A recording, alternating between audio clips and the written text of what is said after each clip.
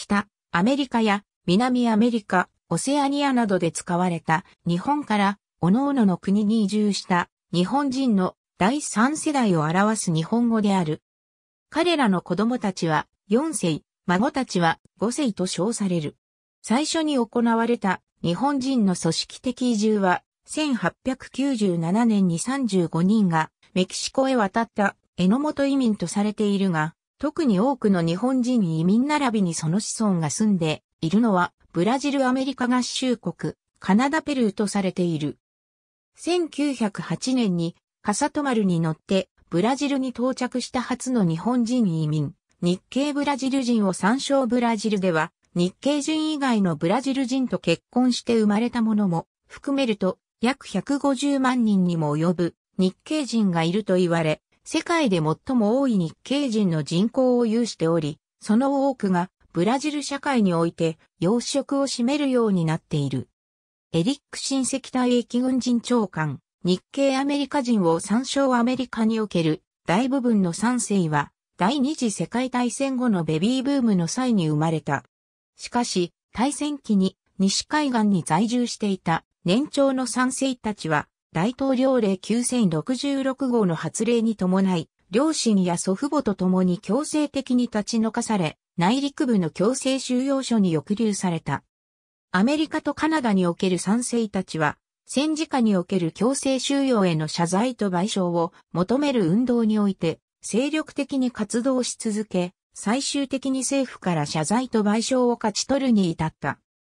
若干の意識において、賛成たちは内に秘めたアメリカ人である彼らの両親と自身の文字通りのアメリカ人というアイデンティティの間でジレンマを感じていた。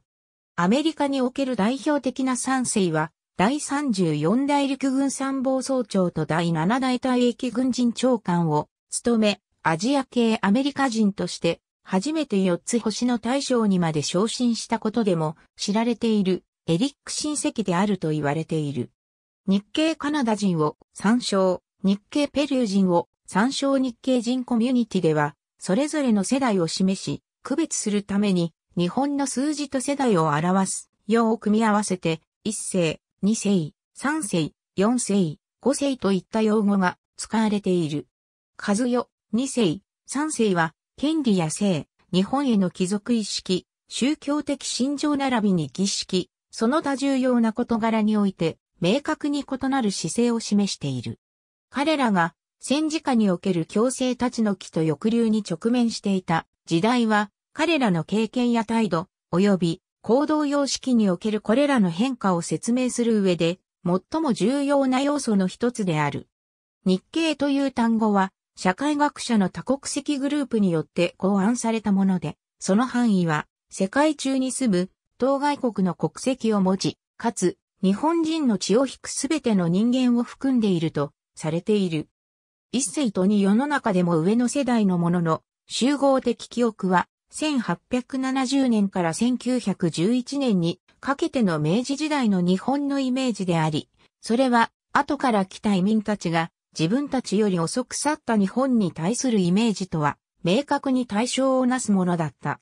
双方の日本への異なる姿勢や社会的価値観はしばしば両者の間に摩擦を生じさせ、第二次世界大戦後も双方の溝が埋まることはなかった。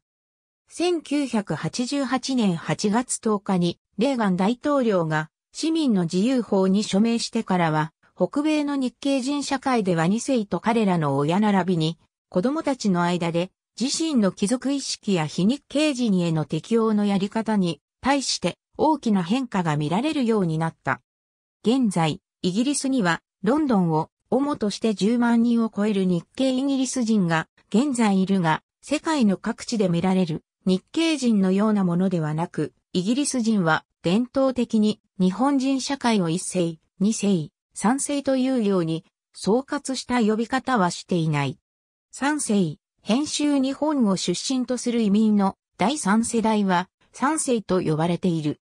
二世を親とする彼らはその大多数が1945年以降に生まれている。彼らは英語やポルトガル語など現地の公用語を第一言語として話し、各々の国の社会に完全に同化することとなり、基準や価値観などのメンタリティの部分においても、現地のものと見解を同じくする傾向を持つ。日本語を介する者は少数しか存在せず、自身のアイデンティティを日本にではなく、各々が生まれ育ったアメリカやブラジルなどに求める傾向がある。三世の間では、皮肉系人との婚姻が進み、その率はアメリカでは50%、ブラジルでは64%となっている。ありがとうございます。